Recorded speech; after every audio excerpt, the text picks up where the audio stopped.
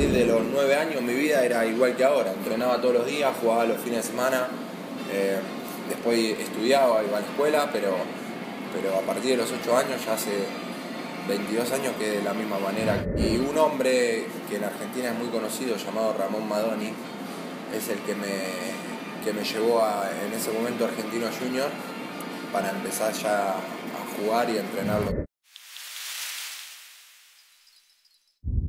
Era capaz, pero era muy vago. O sea, gustar no me gustaba, pero no es que era un, no sé cómo lo llaman acá, un burro. Pero la verdad, sinceramente, no, no me gustaba. Prefería estar jugando a la pelota todo el día. Tuve suerte, lo único que tuve que hacer fue teñirme, o sea, me teñí un poco el pelo y nada más, pero a la mayoría va, casi todos los pelan a cero y yo le dije, por favor, no me peleé que me matás, déjame que, no sé, me tiño o algo. Así que los chicos que estaban en ese momento, que eran los grandes que ya jugaban siempre en primera, accedieron.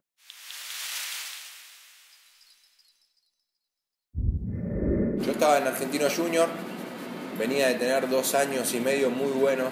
Ya se hablaba de, en varias oportunidades que, iba, que ya iba a jugar en algún equipo, o sea que mi representante me decía, está la posibilidad de ir a este club, de ir a este club, de, este, ir a este club.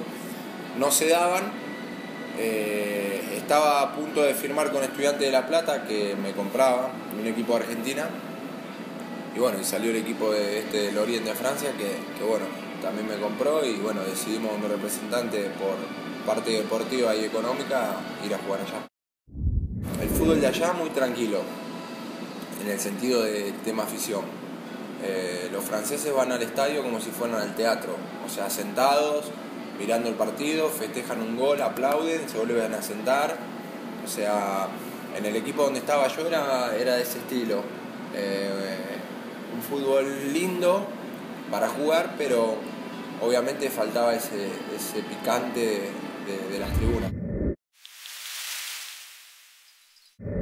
Tuve la suerte de salir campeón, eh, es algo que un jugador, un jugador anhela porque está lindo, como te digo, ganar plata, pero eh, el prestigio es lo que más vale, me parece. Y, haber salido campeón en el 2010 con estudiantes fue, fue algo de lo más lindo que me sucedió. No me recupero, me voy a Tigre. Y gracias a Dios jugamos Copa Libertadores y tuve la suerte de andar muy bien, de haberme recuperado, digamos, de, ese virus y, y bueno, poder demostrar mi, mi fútbol, mi forma de jugar, que, hizo la verdad que, haya tenido un semestre interesante. Gracias a Dios a mí me tocó eh, jugar el tema del descenso como cuatro o cinco veces eh, y no descendí nunca. Y la verdad que no pienso descender. Uno le, le ponen la verdad que la piel de gallina, porque son cosas que hay que disfrutarlas, son momentos en el fútbol son pocos. Eh, entonces, sinceramente creo que a, pesar de que el aficionado ese que hace todo eso está súper loco, eh, son, de, son de excelente agrado para mí. Son cosas que uno le queda guardado en la retina y no se le olvida nunca más. Gordo me llevó muy, muy bien. Eh, es un tipo que trabajador que tiene su, eh, su ¿cómo decirte? Eh, él tiene su trabajo en el club eh, donde hay veces que la gente no se da cuenta, pero no es que nosotros estamos solo los jugadores, el cuerpo técnico, están los utileros, la gente que se encarga de la ropa, los que limpian los zapatos, y la verdad que él en su trabajo, aparte de ser muy importante, es muy, muy importante para el vestidor y para, el día a día con nosotros.